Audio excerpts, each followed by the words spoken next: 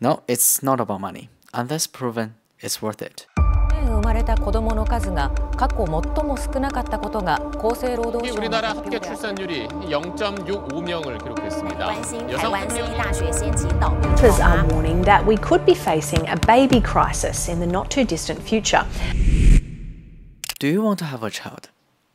I really thought about this question before because I still think it's far from me. But the first time I was asked this question is not by my parent. It was asked by my 22 year old French housemate. A Gen Z asked another Gen Z. I have to face this question one day, which I can't avoid. Because all the news, all the data, and all the policies, it conveys only one common signal. This generation, we don't want to have a child. So the main policymakers nowadays think, ah, it's about inflation. The young people don't have time. They are busy. It's about money or blah blah. Yes, they are the problem, just the problem on the surface. If you are new here, my name is York. I'm single, a typical Gen Z, as all economists and policymakers on this planet are struggling with. And I will tell you in this video by asking three questions which asked by a Gen Z like us. Why all government policies which aim to boost the birth rate is nothing can be done, and why this line is infinitely close to zero, hopelessly.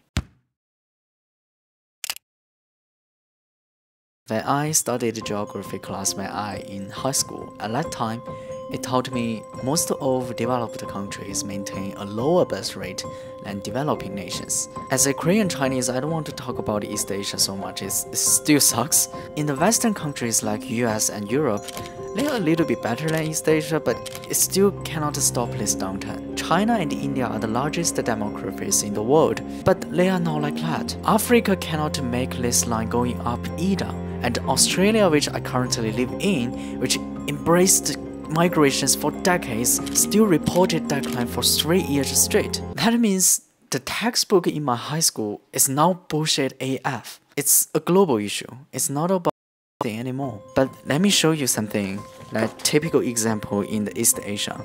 This graph shows the relevance between birth rate and economic growth. And this is the graph of national literacy rate. This is the core reasons which I want to talk about all the time, but it's always be ignored. It's not about money. It's about education.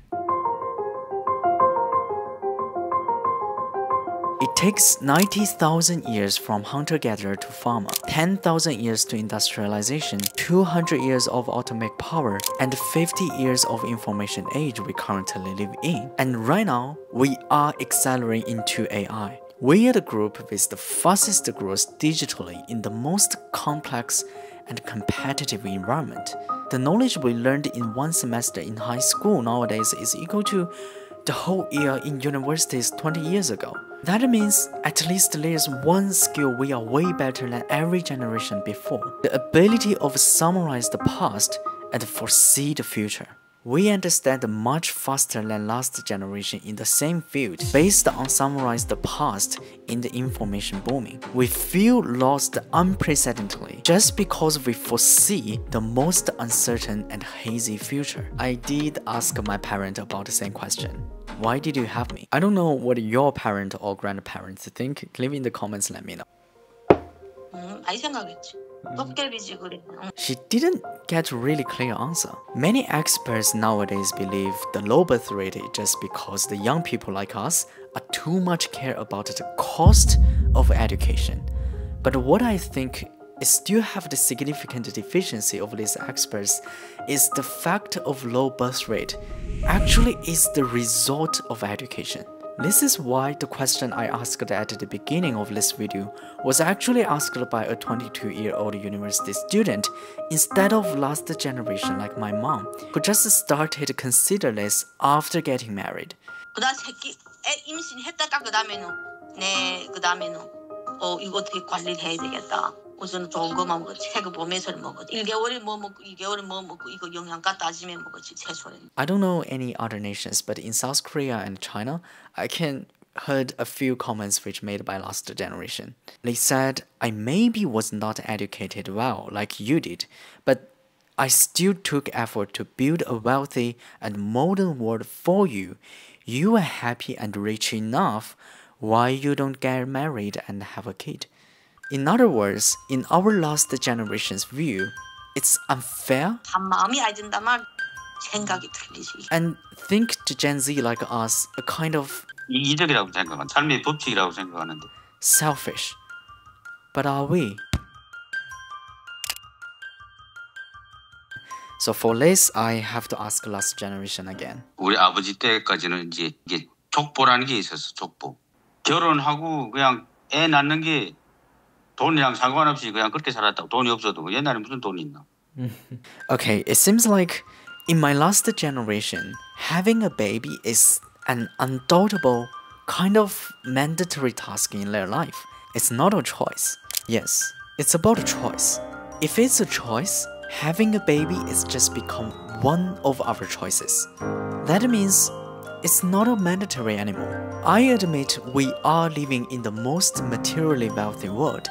it made us have more choices than ever before. And it would directly cause these two factors. We start to consider the cost before making a choice.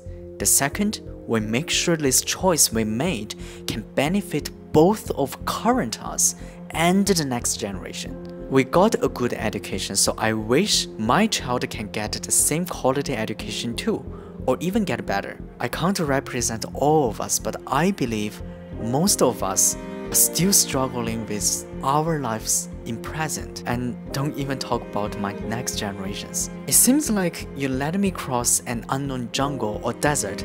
I can't even guarantee I can get out of there alive, but you let me carry a child? I mean, even though I'm rich enough, even though I have time to raise my kid, it probably can kind of satisfy the feeling of accomplishment being a father or a mother.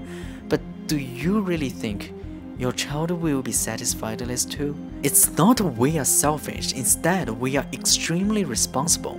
The average marriage age in South Korea is from 20s to now 33 years old and still get older. We delay to make times to get an answer because it's huge and a tough responsibility. If we decide to get married or have a baby, we would try our best. Otherwise, don't do it. The modern education caused this. We started to use our next generation's view to look back on us our current decision, and we start to compare the effects which we made between not having a kid and having a kid with random. 물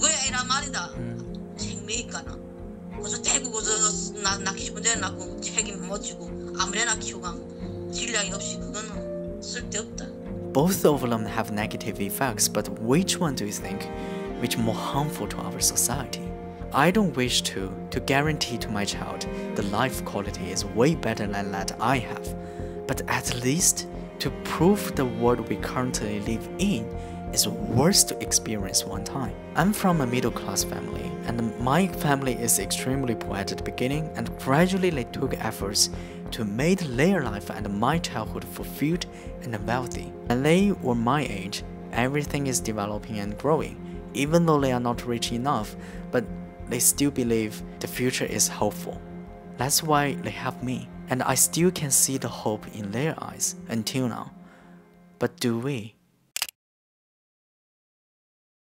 I believe one day we can be wealthy like my parents did, by our effort, by our hands but please think in front of the screen you are watching right now. Economic growth here over the last 20 years. Even though you are capable are rich enough to buy a house and a car, it's the northwest of the country. Even though the government pay you the enough child care subsidy, are you still willing to bring your love to this world we live in? Where is Salha? The thing is, we will already be well educated. This is the side fruit of economic miracle in the past decades, and it's never gonna go back. Many people say we are the lost generation. Indeed, we feel lost because we are seek certainty in uncertainty. We feel lost because we're stuck in the gap between present and the future. We feel lost because we take time to figure out the key point of making a decision while taking the responsibility. I know we have a lot of problem, and every generation does. But what I know is, it's always figure outable. Hope you like this video. I'm York. I'm Gen Z. See you in next one.